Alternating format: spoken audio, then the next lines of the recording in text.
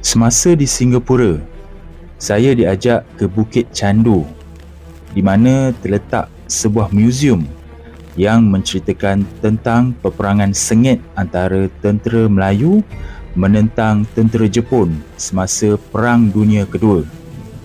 Yang menariknya di sini adalah tahukah anda di mana terletaknya pokok yang menggantung jenazah Lieutenant Adnan? Untuk pengetahuan anda semua, inilah pokoknya yang masih berdiri di belakang muzium ini. Masih terdapat kesan pada dahan pokok ini. Pokok ini masih ada. Anda boleh datang ke Bukit Candu Museum di Singapura